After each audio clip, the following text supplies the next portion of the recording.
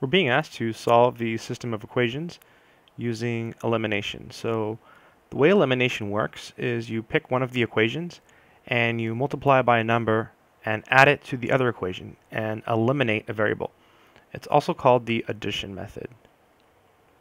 So in this case, the question is, what can we multiply this equation by so that when we add it to this equation, the 10x goes away. Well, if we multiply 5x by negative 2, when we add it to 10x, it will go away because negative 2 times 5x is negative 10x.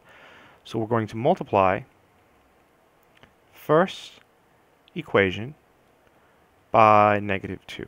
Okay, that's what we're going to do. So let's do it carefully.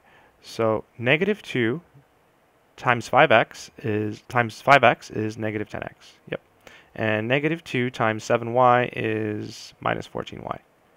And negative 2 times 6 is negative 12. Then you just write this one down again.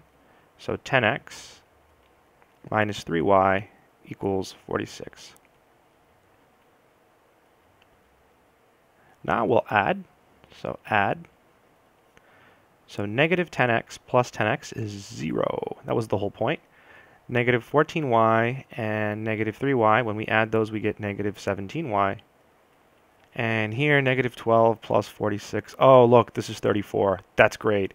Because now, when we divide by negative 17, oh, this worked out nice. We get y equals negative 2. Okay, now we can use any equation we want to solve for y. It looks like they're both equally difficult. So let's maybe take the first equation, this one here, and plug in y equals negative 2. So 5x plus 7y equals 6. And in the next step, we're going to replace y with negative 2. So 5x plus 7 times negative 2 is 6.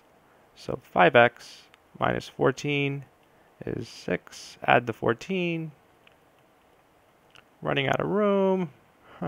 so 5x is 20. Divide by 5.